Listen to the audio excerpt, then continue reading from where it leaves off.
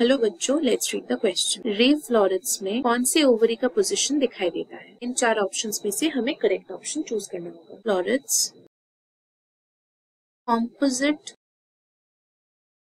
Are का part होता है, जैसे सनफ्लावर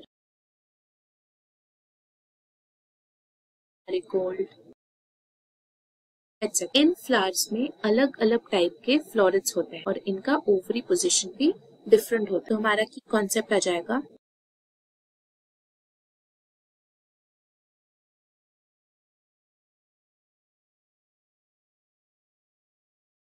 चलिए अभी ऑप्शंस को एनालाइज करते हैं। पहला ऑप्शन है सुपीरियर ओवरी सुपीरियर ओवरी का मतलब है कि ओवरी फ्लावर के अदर पार्ट्स के ऊपर होती है। ये हाइपोगाइनस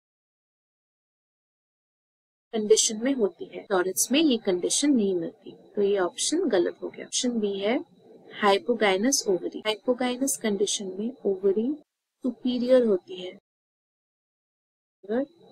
ओवरी जो यानी फ्लावर के अदर पार्ट्स के ऊपर होती है। रे फ्लोरेंस में ये कंडीशन नहीं होती। तो ये ऑप्शन भी गलत हो गया। ऑप्शन सी है half inferior ovary half inferior ovary को पेरीगाइनस ओवरी कहते हैं ओवरी होती है। कंडीशन भी रे फ्लोरेंस में नहीं मिलती तो ये ऑप्शन भी गलत हो गया और ऑप्शन डी है इंफीरियर ओवरी तो ओवरी का मतलब है कि ओवरी फ्लावर के अदर पार्ट्स के और ये एपिगाइनस कंडीशन में होती है। रे फ्लोरेट्स जो कॉम्पोजिट फ्लावर्स का पार्ट होते हैं फ्लावर यूजुअली इंफीरियर ओवरी दिखाते हैं।